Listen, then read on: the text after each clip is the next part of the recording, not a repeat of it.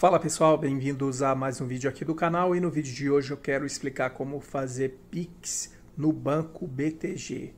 Para quem é novo aí no BTG e não está muito familiarizado com o aplicativo, com a conta e está encontrando dificuldade para fazer um Pix, vamos lá, eu vou explicar aqui o passo a passo de como você fazer o seu Pix no BTG Bank.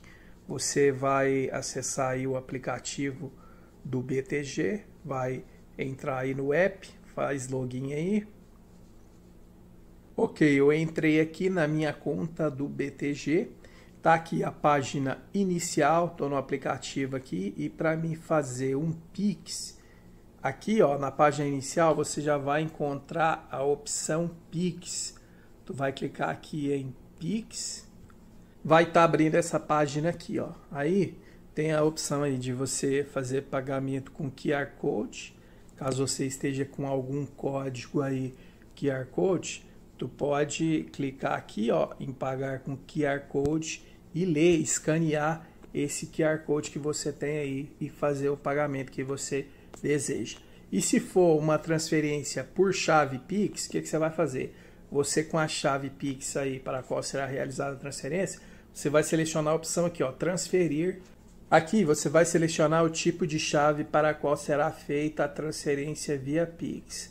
Aí no caso aqui, número de celular, CPF, CNPJ, e-mail ou chave aleatória.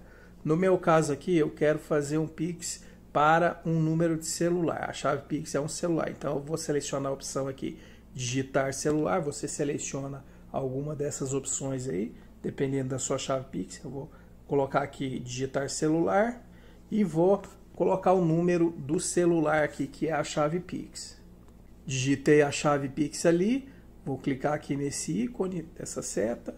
Aqui eu vou colocar o valor do Pix, o valor da transferência via Pix. Coloquei o valor, vou clicar aqui nesse ícone e aí vai aparecer os dados de quem vai receber o Pix. Você confere aí, vê se está tudo certo. Valor, nome da pessoa, a instituição bancária.